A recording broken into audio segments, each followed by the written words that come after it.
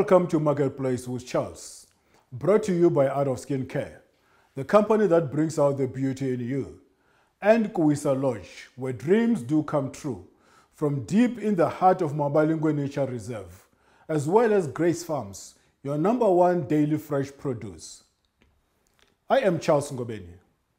On Marketplace, we redefine your future by equipping you with tools that you need to achieve your entrepreneurial dreams.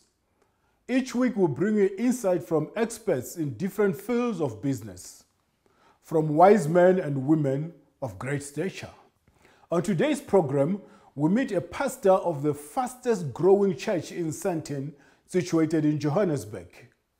The rate at which the return of the Lord Jesus Christ to fetch his bride is dependent on the response of the believers to the Great Commission. Jesus said, This gospel of the kingdom shall be preached in all the world for a witness unto all the nations, and then the end shall come. Matthew 24, verses 14. The implication of such a statement is probably one of the most misunderstood. If not, then why else will the church manage to tolerate the doctrine of holiness through poverty for such a long, long time? My guest will endeavor to help us look at this subject from a perspective that will make you see wealth in a different light. Help me welcome Pastor Tim Grage with me in your home or wherever you may be watching this episode from today. Pastor Tim, welcome to Marketplace with Charles. I've been watching it and it's a joy to be here even today. Thank you, though, Charles. You know, I, I followed you wherever you were preaching. And uh, the other time I visited your church, I marveled at the great work that you're doing. Oh, I'm so honored. You flatter me, but I'm honored. But what makes you tick? what makes me tick? I think I think I'm a teacher by calling, and so my emphasis is to try and bring the gospel of our Lord Jesus Christ in such a way that it's practical and it's actually usable. And so there's a lot of emphasis on, at least from my perspective, on our identity in Christ and maximizing that identity to bring out the fullness of our inheritance as it as it plays out in our world today. And so that has been my thrust. Of course, I'm involved in other things as well besides um, direct church, you know. But we try to bring the whole concept of the gospel, not just from the pulpit, but into the marketplace and every other area that we find ourselves. And that's how it's supposed to be. We're to live out the gospel beyond Sunday morning, beyond pulpiteering. We're to live out the gospel in every area of our lives. And so that's my drive.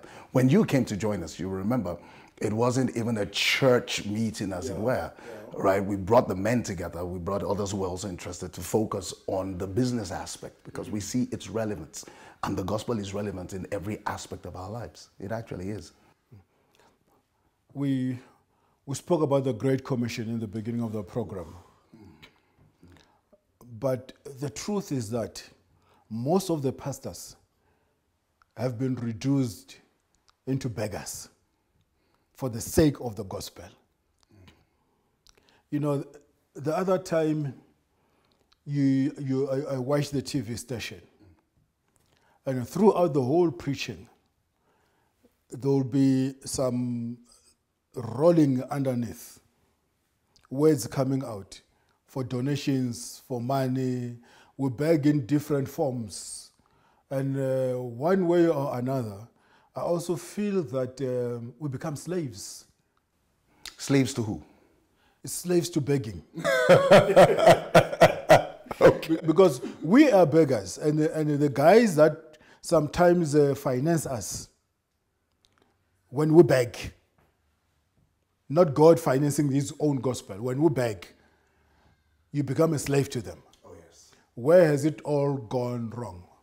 You know that saying, he who pays the piper dictates the tune. Exactly. So what you've just said is so true. So you have a lot of people who, because they are the ones that seemingly are funding the gospel, they tend to also want to decide what will be preached from the pulpit. And, and mm-hmm. I've seen too many pastors who are unable to speak the truth anymore because the people who are funding them are not in support of that particular truth. But I need to, I need to disagree with you a bit when you say most pastors have been reduced to beggars, I, I, have a different opinion. I actually do believe um, in my experience so far, in my exposure, I have seen a number that aren't begging. In a lot of churches, one of the key reasons why people struggle with respect to getting the people to give is because I personally believe that the people have not been taught over the years, I've been pastoring now for what, going on 25 years, I have seen that if people are taught to understand their responsibility to the gospel, the same way I was taught, I was taught my responsibility to the gospel. I went to varsity to study engineering, I have been involved, I, I run a consultancy firm. But even before all of this, I was taught about the necessity to support the gospel financially. And so, as a result of that, even when I am in a service, I am not given to being cajoled, I am not given to being persuaded. I already know that it's my responsibility to fund the gospel. When you talk about um, the different ways that we now beg, right? But let's be frank. Let's let's really be frank. When you look at um, non-profit organizations that also put their desire for donations and put their request for offerings and for gifts and for whatever terms that they use, a tax deductible, whatever. Do we say that they are begging? Or, or is it okay for them to do it and then it's not okay for a church to do it? Bearing in mind that the church is run on donations. The church is actually run on offerings.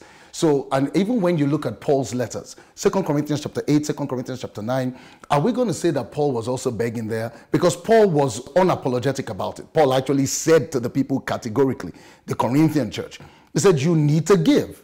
And he told them that you have to give. And then he even used the Macedonian church as an example to them and said, Can you not see the Macedonian church? That they did not even have a lot, but they did give. Why won't you do the same? So I don't think it's inappropriate to actually put your details out there and ask people to give. I think the problem I have, and I think this is where I will agree with you. I was watching the TV the other day and the pastor came up and said, um, if you don't give, our show, our program will go off the air. We need exactly X and Y amount. And he was, he began that whole, you know, rhetoric about why people needed to give to keep their program on the air. And I will not lie, I did feel uncomfortable with that. But at the same time, did he have a right to make that request? Registered as a nonprofit organization puts you in that position where you are supposed to make requests like that. I do think, though, that where we have missed it is that we have not taught the people to understand their responsibility to fund the gospel. That responsibility is scriptural. It can be seen in every book of the Bible from the epistles that Paul wrote, starting from the birth of the early church. I feel if people can be taught, if believers can be taught their role financially to the gospel, you will not need to do fundraising unnecessarily. You will not need to, to start saying things like, um, and, and this is one that grieves my heart greatly um, give us a thousand rand for this bottle of anointing oil uh, to anoint your business. Give us 2,000 Rand for this bottle of water. You won't need to go in through all those gimmicks and those nonsense because I feel that's nonsense, right? To begin to generate funding if you will teach the people. But uh, the, the challenge that I have as well, you, you, you find someone in a program like this will spend 15 minutes. I think I know where you're going. asking them for money. And then spend 10, 10 minutes on the actual content. The actual content. yes. You see, again, we have to accept the fact that we will not all do it the same way. Um, does it justify uh, for them to put more effort on the issue of money? I don't think so. The gospel has to be the center of what we are doing. But we also need to accept that it does take money to send the gospel out there. Yeah. But yes, it does leave you with a certain sour taste in your mouth when the whole show seems to be about raising that money as against uh, time invested in actually sharing the word. Again, I guess that's why shows like yours do exist. I mean, it's also why people like you do exist. People like you who have taken upon yourselves to actually fund the gospel. So, besides the show that you do, I know that you are so involved in actually funding the gospel. And there lies the big question How did you get here? What was that which you learned? And we need to find ways to help every minister of the gospel realize that if we can give people the same information, they will not need to make this kind of overt plea, to use your words, overt begging yeah. for money. It does leave a sour taste in the mouth. But then, what is a true gospel then? Okay, what is the gospel? The gospel, we just came out now. I mean, um, a few weeks ago, we had our Easter celebration. And that was the introduction of what the true gospel is. It is the incarnation of Jesus, meaning the God becoming man. It is his death, it is his burial, and it is his resurrection. We should also add at some point, it's also his return. That is the gospel. Whether you are focused on the reason for his death, you are focused on the consequence of his resurrection, or you are focused on his return. Any aspect of this, what is ideal though, is a compendium of all of this, is the release of the gospel.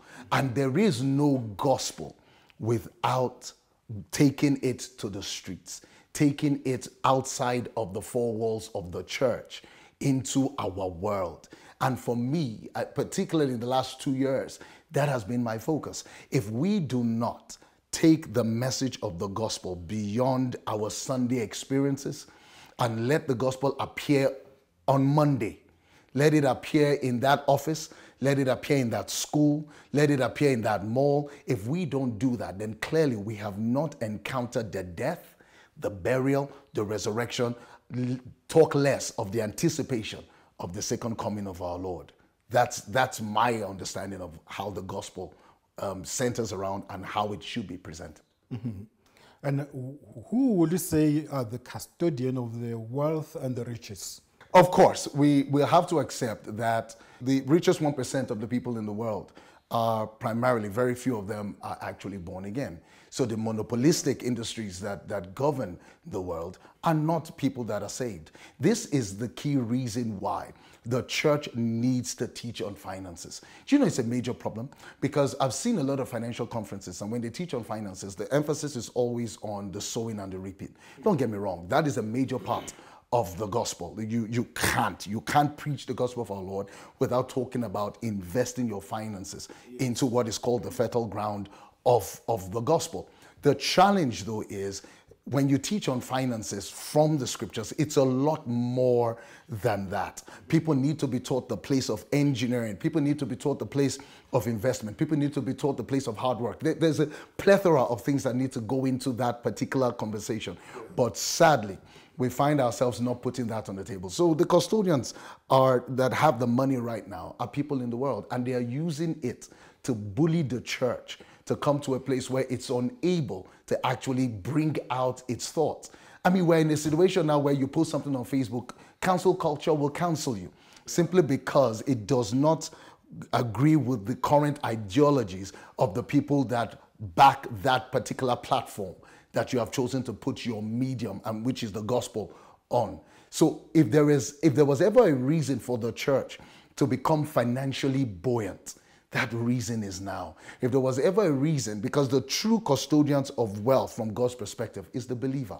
The believer is supposed to Deuteronomy 8. I mean, I'm sure you've quoted that so many times on this show. Deuteronomy 8 18. It is he that giveth thee the power to get wealth. God is desirous that his children be prosperous, but he tells us why. He says, so that he will support the covenant, so that he will back up. It, the Bible also talks about how his kingdom will expand through prosperity. If we're going to get the kingdom of God to extend, to expand, it is through prosperity if, if, if we do not become the heads of all the seven mountains, I'm sure in a show like this, we've been talking overtly about the seven mountains. If we do not put believers who understand how to bring divine culture into the cultural environment of these mountains, if we do not put believers there, we will continuously be at the mercy of the people that control these industries. And we are seeing it today. We are really seeing it today. We're in trouble. Someone once said, He who has the money set the rules. Oh, yes. That has always been the case. That has always been the case. It's one of the key reasons why back then, in the ancient times when the, the Christianity was being formed, when the church began to have a lot of financial muscle, yeah. even the church became tyrannical. Even the church started acting like a tyrant. There is something about the power of financial freedom that, if one is not careful, can bring the tyrant out of any individual. And, and, I'm sure we know that. It can actually bring the tyrant. But it also shows us how powerful then money actually is. Because when an individual is able to wield the influence of money, see, we, even the Bible talks about how wisdom is a defense. Then it says money is a defense. There is a defense that money gives. That even if you did not have the support of friends and family, because you have the money, people will come out of the woodwork to actually give you the support simply because of that resource. That resource, we need to find ways to ensure that that resource is being used for the advancement of the gospel. We really do. You, you know, uh, uh, this scripture blows my mind, which says, uh, a poor man's wisdom is despised. you know, and uh, it doesn't matter how wise you are. Even your neighbor, it says, even your neighbor does not even listen to you. and yet you want to win your neighbor to Christ. Well, look, I, I will have to, I hear you there.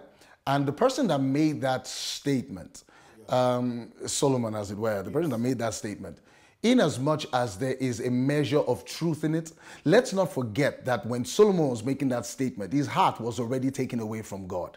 And that statement was based on his observation. So that's why in that story, he even tells us a story about it. He says there was a wise man who delivered an entire city. And then after he delivered the city, they forgot about him. And then he says, yes, the wisdom of the wise of the, of the poor is despised.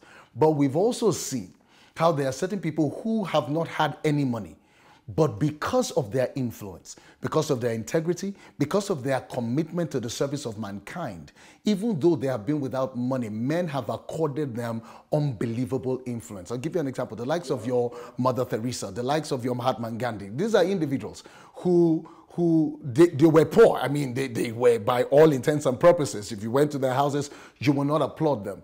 But in spite of that, the world came to accept that these were still resources of wisdom that should be that should be accorded to these individuals. So I heard what I, I hear what Solomon said, but it's not the entire truth. But yes, there is a measure of truth in it.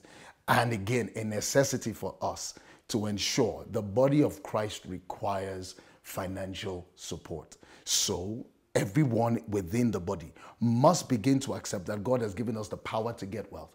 And we must begin to get that resource so that we can support the gospel.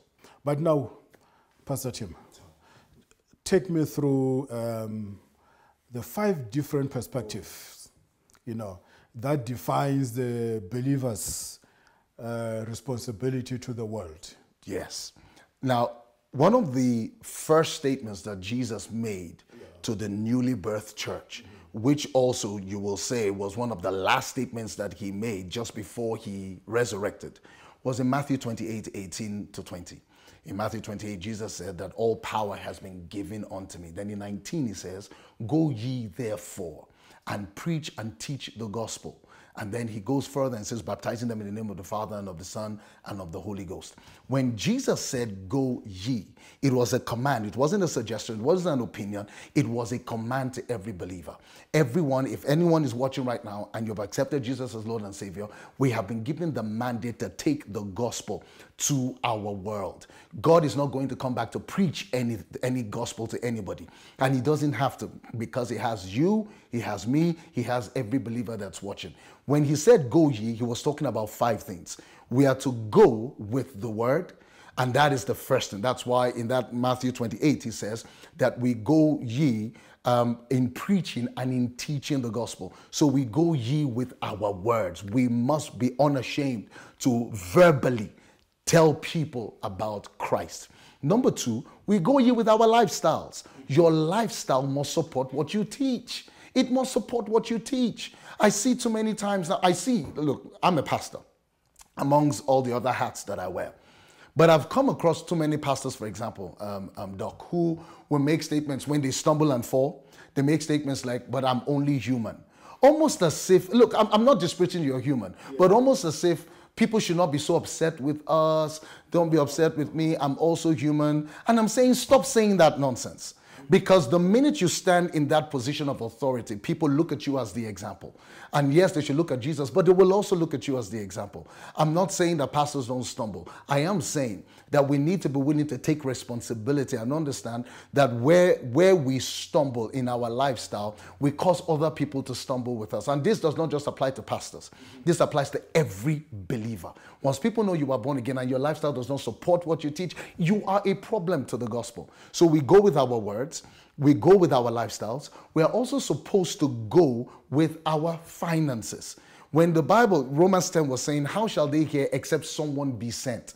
It takes money to send the gospel. It takes money to put a show like this that is blessing somebody right now. It takes money to, to do the crusades. It takes money to get into townships. One of the things that we do, we do a lot of township interactions. It takes money to do that. How do you preach to somebody the gospel when the person is hungry, when the person's um, children has been kicked out of school? It is easier to get a person to focus on what you are saying if you have put some food in their belly. It's a lot easier. It takes money to do things like that. So we go also with our finances. We are also expected to go with our gifts, with our talents, and with our skills. When I talk about gifts and talents, I'm talking about your innate abilities, the, the talents that you've been given to serve your world. When I talk about skills, I'm talking about your learned abilities. So did you learn something from a technical? Did you have do you have a degree? What, what are your skills? We are also supposed to use that to serve the gospel. And then number five, we are so also supposed to ensure that we go with our, let me get the five, with the miraculous power of God. It takes miracles. God still, oh, God still does miracles. When and and and if we if we use if we do one part and we ignore the others, our we are not balanced. We are to do it all. All five must be active in our lives, Dr. Charles. All five must be active. You, know, but why do you think is it that uh, you, you, you see people out there fighting and criticizing pros- the gospel of prosperity? Okay, let's be frank. Anything that has to do with someone collecting your money will be fought before we even go into the abuse of prosperity. So, whether it's the government asking for your taxes, whether it's your wife demanding more money, your children saying pay more this, any look, it's human nature. Anything that demands that you bring out money for anything will be fought. So the church will be no different. Because if the church is demanding for money, people will say, Why is the church doing that? Forgetting that the Bible even talks about how Jesus had an accountant, meaning money was being brought. You don't need an accountant if you are packing change. you know, you don't. The Bible even talks about certain women, and, and when it defines them, the only definition it gave them, it said, who supported Jesus with their resources. So Jesus actually had, and for them to have noticed this woman, it means they were given a level of significance because what they were doing was important for the advancement of the gospel. But again, we cannot deny that people will fight the gospel of prosperity because we have seen its abuse. We have seen where money that should be used for the funding of the gospel is also being used to serve personal cults, to serve personal desires. Don't get me wrong, I do believe that if you are pastoring an organization, a church, for example, that is that is extremely successful, successful in the way we term success in the world, that is, that is extremely successful. The, Paul makes it clear you should eat from your success. So you should. There's nothing wrong with that.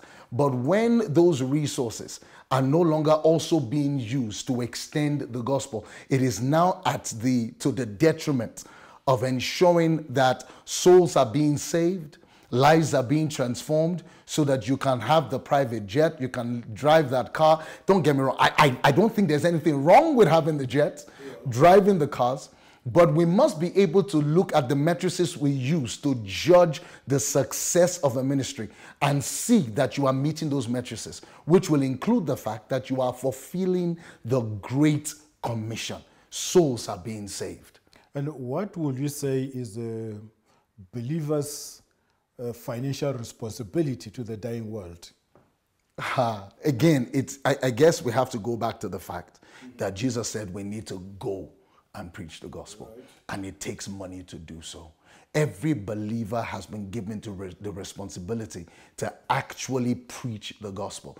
And sometimes you can't preach it to certain people because you are not in their location. So it will require money to actually send others who will, or, or send the gospel in a medium that will go to the places that you cannot go. So it is of great necessity that the believer understands that they need to fund the gospel, both in their tithe, in their tithing, in their regular giving. The Bible, the New Covenant, even New Covenant speaks about tithing. Paul spoke about the people giving at the beginning of the week. Those was their regular giving. Paul even then spoke, uh, spoke about sacrificial giving. There is the place where you give sacrificially, where this, this is no longer convenient, but you give because there is a mandate to be accomplished. This, this is not, and, and I think one of the challenges that I, I have seen, and, and it's a problem for me, is when the mindset of the believer is to give so that they can get. It's almost like you have turned God to a slot machine. You've turned God into a casino. So I'm giving to get. And then when you don't get, um, you start saying this principle does not work. We need to shift that mindset. When I give, when I give out of my own personal income, income from my businesses, income from the things that I do, when I give to the kingdom, I give because I need to see the kingdom go forward. Yeah. And that, if, if that is not um, what every believer is experiencing in their heart, that look, I have been blessed by this sermon. I have been blessed by this ministry. I need to ensure that other people also are given the opportunity to be blessed by this sermon, to be blessed by this ministry. And to do so, I need to give to that effect. If we are willing to do that, then clearly something is wrong with our passion for God. Something is wrong. Pastor Tim, unfortunately, every good thing has to come to an end. and we ran out of time before we even knew it. If someone wants to get hold of you, get hold of your preaching materials and the, the books that are still on the pipeline, how do they do that? Well, our church is located at 93 Greystone Drive, but you can also catch us on our website. So we have that's um, the COZ, charlieoscarzulu.org. Um, but I run a regular devotional, so we, we are quite active, not necessarily on Facebook, but more on YouTube. So a lot of our materials, we put them out there for free. Um, um, so you don't need to pay a dime. Just go into our YouTube channel, p.tim, and you will be given un, unmitigated access to our resource base, and it will really empower you. It really will empower you. Well, viewers, I will encourage you to follow Pastor Tim, and I'll guarantee you your life will never be the same. I am Charles Ngobeni signing off on Marketplace. I'm available on all forms of social media well, see you next time, and God bless you.